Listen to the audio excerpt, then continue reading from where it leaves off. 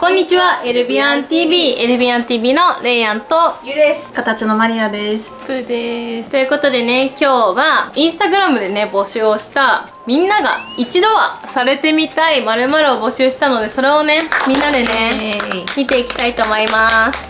ゆうちゃんはマロチのお世話があるので、真後ろにおります。声だけ出演かわいい本当はね、出る予定だったんだけどね、ちょうど昼寝から起きてしまいました。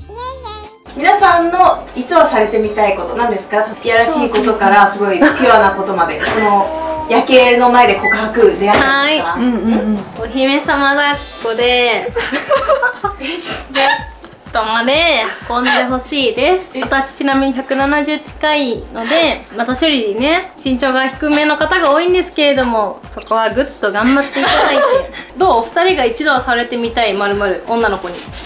一度はされてみたいまるまるでも結構いろいろやってくれてるんだよなー。って思っちゃう、うんうんうん。ね。例えば何されてる？イベントごとのディナーだったりとか旅行だったりとかはしてもらってるから。うんそれはねでも継続してやってってほしいなって思う。いいね。大事だよね。そうイベントごとうん。一緒に入れるっていうの大事かなって思う。肩丼とか？え肩丼？え、こうた、え、こうた。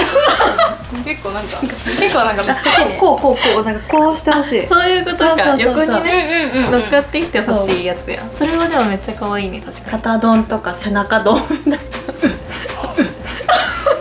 ちょっとなんかさこれあれだよね。やる人によってはちょっとなんかイメージが変わってきちゃうけど多分コツンってされたいってことだよね。こことかこことか後ろとかにドンってされたい。で身長高い人だったとてコテってできるじゃん。うんうんうん身長低い子もコテってできるからなんかこう密着してほしい。私もやるからあっちもやってほしいお互いに？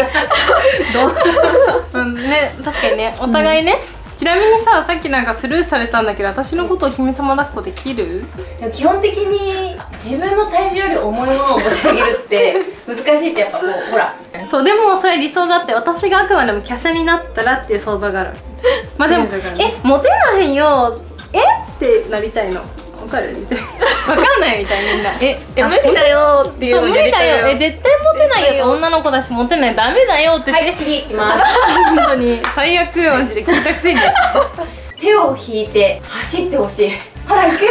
あこれよくあります海海でこれよくあのほら、えっと、悪いやつに追われる喧あ嘩そっち？あそういうことなんだ。私なんか海とか海とかでドラマでよくあるような手を引いて走るみたいなそういうことかなって思っ夏祭りとかでちょっと人混みでこう引っ張ってくれるとか。経験ある皆さんありますか？手を引いて走らされたこと。なた走る はないかな人混みでグッてやってくれたらキュンとするかも。うん。誘い猫可愛いらしいね。可愛いと思う。えめっちゃ可愛いと思う。あいましたね。お姫様抱っこ。えだよね。だよね。してほしいんだ。でもちょっと憧れよね。ししたい。してほしい。のしてほしい。なんかさ明らかにさできる人にされるんじゃなくてさできないでしょっていう人にされるのがなんかいいの。頑張ってほしい？なるほどねあ頑張ってほしいらしい。頑張ってほしいというかえ？できない？えできるの？みたいな。持ち合わせ場所についてじゃかって突然言われてディズニーに連れて行かれたい。あーサプライズ系だやってやってあげてほしいそれ、ねそれはマジで。うんいいね。うん。やってあげてほしいね。やってあげてほしい。嫉妬で泣いてぐちゃぐちゃのお顔を見せてほしい。あー悪いなそれ。ド S ですね。S だねこれ。ね。S だね。女の子の泣いた顔めっちゃ好きなんだよね。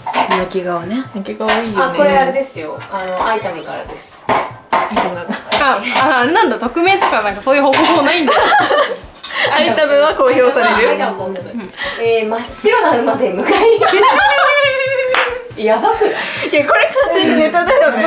もうこれ。いやでもねだってもうだってあるあるかもしれないね。え嘘原宿馬通ってるとこ見た 原宿に。北海道ぐらいじゃない？やっぱ、うん。牧場とか。なんかそう。だね。なんかうん。いじめてほしいとか言われたい。あ言われたいん言だわれたいのね。で誘い猫に近いものがあるってことかな。ああなるほどね顎食いからキス。でこれってさどうなの？やられたらどうなんですか？個人的な意見でもそれってさ身長差ないとできないよね。あとまあ下からこう。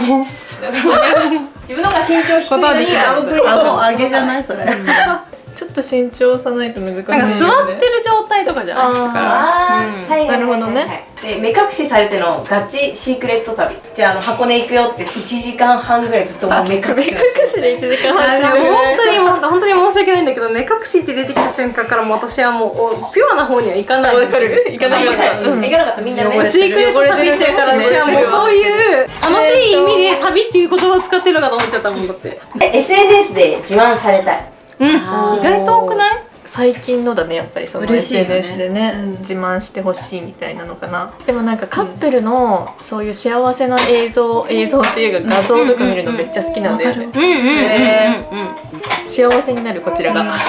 風邪ひいた時に看病されたい。うん。めっちゃわかる。わかるすごいわかる。愛情を感じるねうん。そう、うん。弱ってる時だよね特にね。でもさまだ付き合ってなくてさちょっとなんかいいかもって女の子に看病されたら結構いいね。あー、もうキュンとしちゃう作ってほしいおかゆ。王道かもしれないけど外でキスされてみたい。あー確かにあんまりさ女の子同士ってさあんま外のスキンシップ取る人ってそこまで多くなくない？そうだね。でも取る人は取るんでなんか。普通に撮る。フレンチぐらいだうんね全然そうそうさすがにね。うんまあ確かに。リードされたい。これ何でもかな、うん。そうだね。えリードは普段する派？される派？される派。したい派。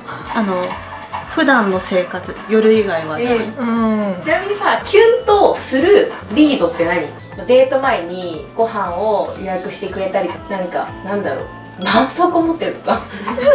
いやわかんない。いろいろねなんか錠剤持ち歩いてるとかわかんないけど、うんうんうん。リードっていうか気遣いか気遣い、うん、気遣い。心うん。ちょっとエスコート的なね。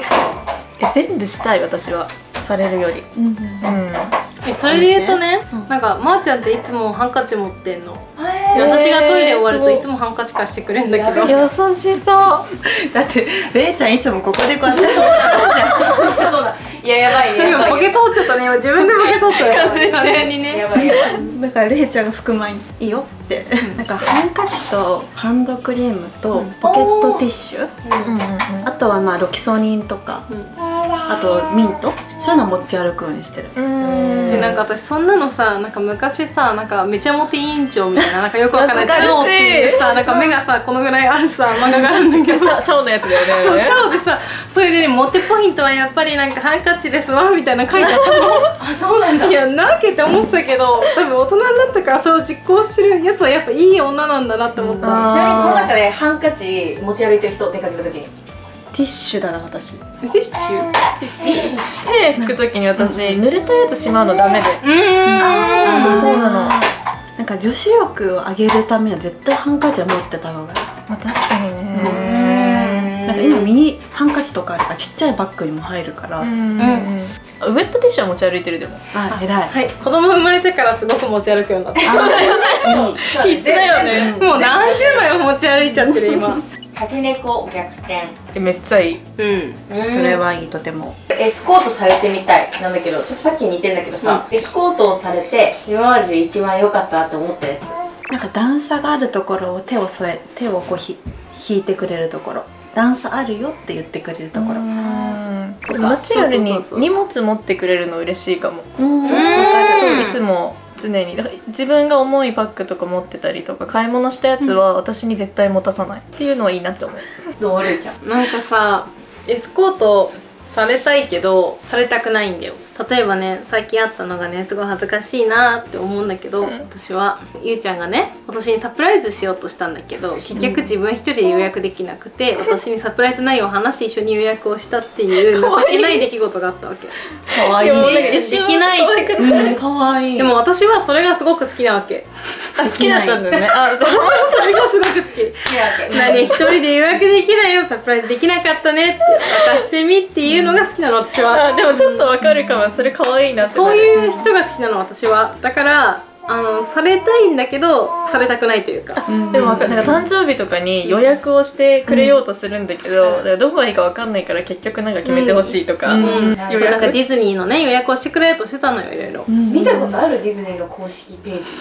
結構見る結構見る。本当に、うん。こうホテルとそのなんかこうパスとのなんかこう組み合わせみたいなパッケージみたいなのあるじゃん、うん。え何書いてあるかよくわかんないわけよあーまあいろいろあるもんね。入場の時間もそうだし、C もランドもあればホテルの種類もあればね。ね難しすぎてちょっとね無理だった今日はね皆さんにね女の子に一度はされてみたい願望をね聞いてみたんですけどいかがでしたか？皆さん結構いろいろ願望を持ってるなと思いました。まあねここでは話せない願望も我々たくさん持ってます。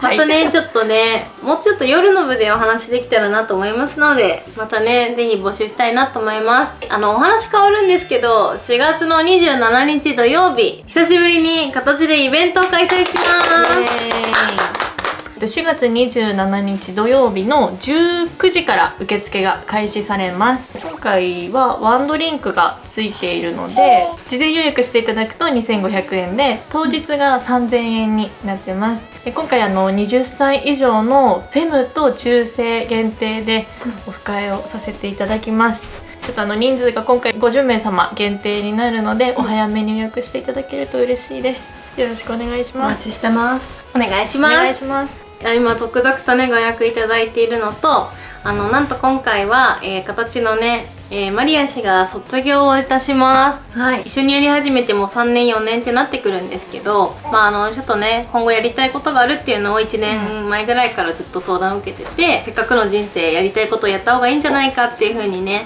みんなでもちょっと後押しをさせていただいて今回卒業という流れになりました。何か一言どうぞ。34年結構長い年月ね経ちまして、でやっぱ最初は右も左も分かんなかったんですけどやっぱ周りのメンバーにも支えられて、まあ、楽しく仕事もできたし、うん。オフ会っていう形でねオフ会っていうこともできていろんな方と出会って、うん。みんなもいろんな人と出会えててすごいなんかいい光景を見れたなってすごく思いました。私の方でちょっとやりたいことがあって34年経って区切りがいいかなってところでご相談して今に至ります。でもちょっと本当はやめたくないぐらいなんですけど、まあ、オフ会だったりとか2丁目だったりとか、まあ、形のメンバーとか全然これからもお会いするし、うん。参加できる時は参加するっていう形なので全然、まあ、ちょっとこの画面からはちょっと出るのが少なくなっちゃうかもしれないんですけど、これからもよろしくお願いします。ありがとうございました、はい、ありがとうございま。したということでね、まあ、あの公式にねしっかりもう確定してるっていうのが4月の27日が一番最後なのでもしねあのマリア氏にねあの会いたいなって方とかいたらぜひね最後なので応援しに来てください。お待ちしてます。はいということでこの動画良かったらグッドボタンのチャンネル登録お願いします。また次の動画でお会いしましょう。バイ。バイバイ